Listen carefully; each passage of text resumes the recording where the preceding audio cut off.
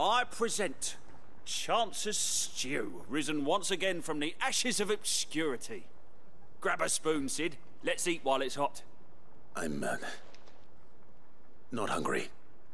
Well, it'll be too late once I've licked the bowl clean. Your loss.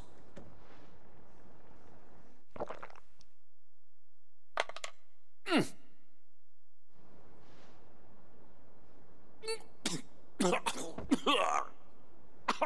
Odin's teeth. What an assault on the senses. It's like choking on swamp water. And and yet, up through the pungency there rise complex, meaty notes.